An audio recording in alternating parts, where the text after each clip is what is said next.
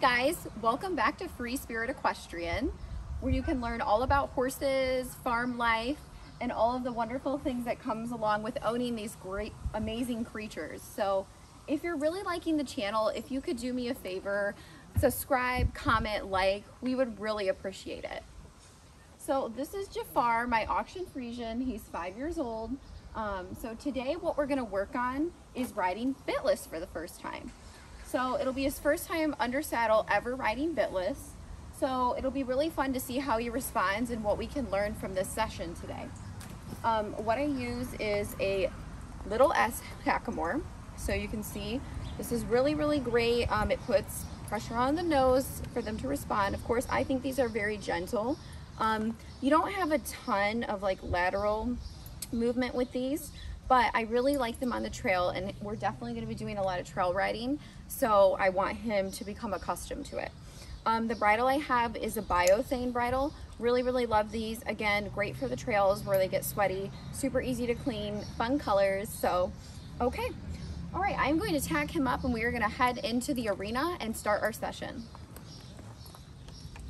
Okay, we're gonna warm up with some groundwork first and then I'm gonna put the bridle on.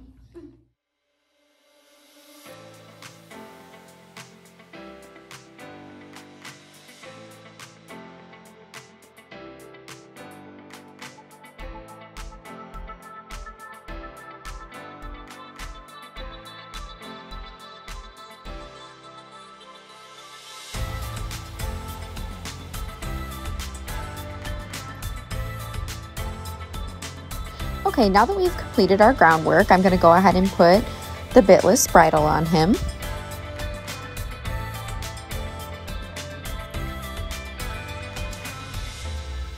So putting this on is basically like putting a halter on since um, there is no bit that actually goes in their mouth. But the Hackamore, again, it is an actual bit. It just doesn't have a bit that goes in their mouth. So yeah, pretty interesting. He's been really good about bridling and um, even with the bit too. So I'm really happy about that. And I just want to adjust it to him right now, make sure it fits both sides of his face and um, make sure that everything is adjusted accordingly. Also, I realized later the reason why he flinched and why he's looking out like that is because there was actually a coyote running around in the field and it ran behind the gate of the indoor arena outside. So he got a little nervous about that, which I totally understand. But, anyways, yeah, it was pretty interesting.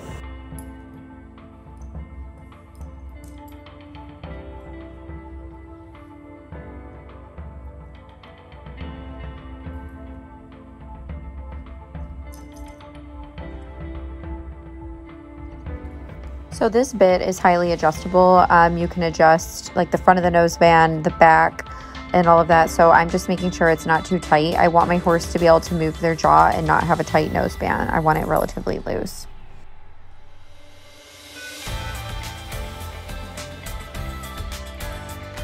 Okay, so first I just want to do a little bit of in-hand work, making sure that he's comfortable with this bridle and bit.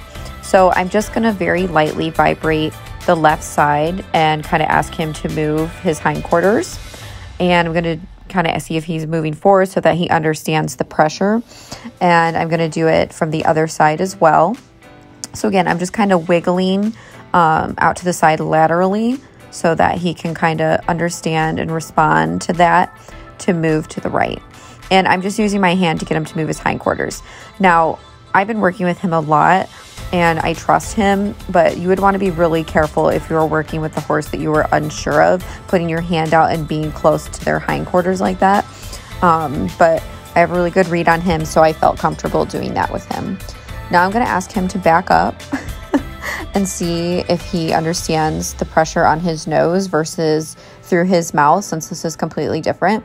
But he's used to, you know, obviously having a halter on, so it is similar, but I just want to be sure.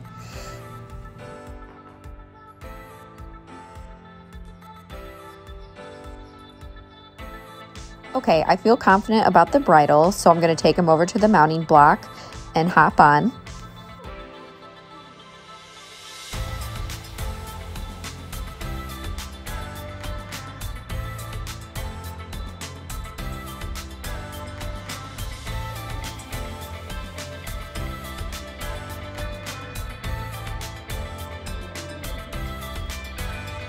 So we're just going to take it really slow today because obviously I want him to be able to adjust to this.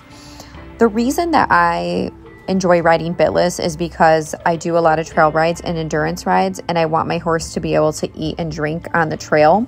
That's really important when it comes to endurance and, of course, trail riding because even for our typical trail rides, like we usually do like a minimum of 10 miles. So when he gets to that point, um, this will be a really good skill for him to have learned. So obviously, we're going to start that in the arena first so that he and I feel both both feel confident with it.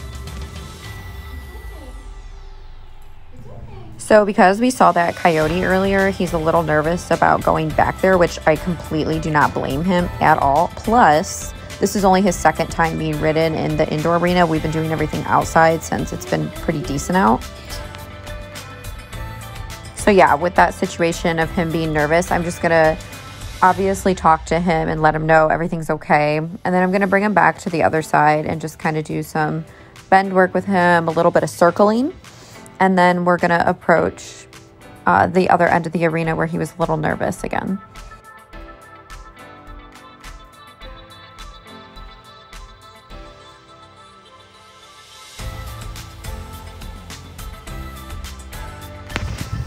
So it's kind of hard to tell, but you can see that he's a little tense because he's approaching that back where we saw the coyote. But he's handling it really well. Like I can feel his energy, so I'm just trying to direct it into a positive situation, positive way, so that he will feel confident with me. Um, he's not really offering to do anything. You can feel, like I said, you can feel the tension, and I feel like he definitely could spook if I was to amplify that energy, but instead we're just going to make it calm. Uh, so right there, I just asked him to stop, wanted to see how he was responding to pressure on his nose. It's kind of funny because obviously this video is about riding him bitless for the first time, but sometimes it turns into other things like working through that little bit of tension that arose.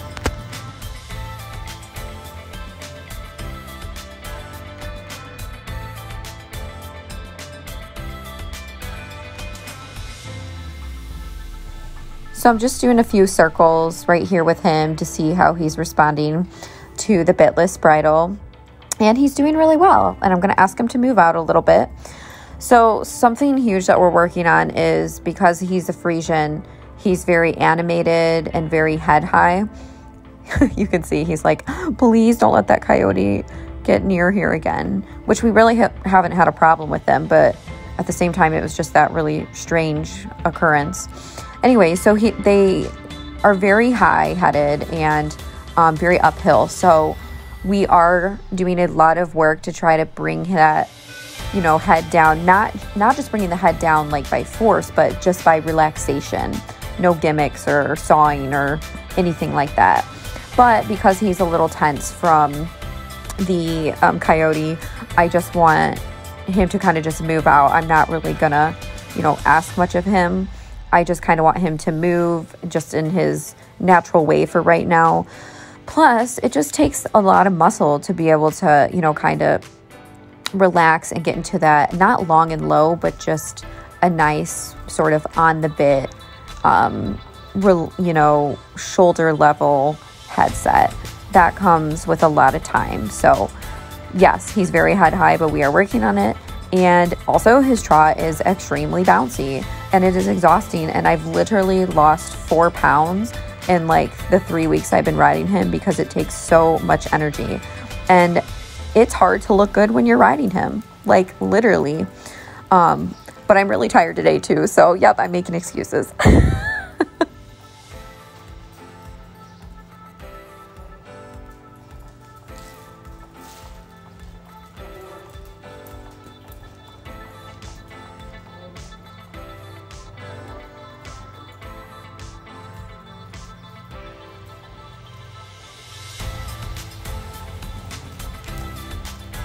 But overall, he's responding really well to the little S Hackamore and the bitless bridle. I feel like he's turning really well in comparison to the bit. He's stopping, transitioning, listening excellent. So, really happy with that. Uh, again, he's only been under saddle for 45 days before I got him. So all of this is still new to him. I love looking at his silhouette. It looks really pretty right there. Love this shot.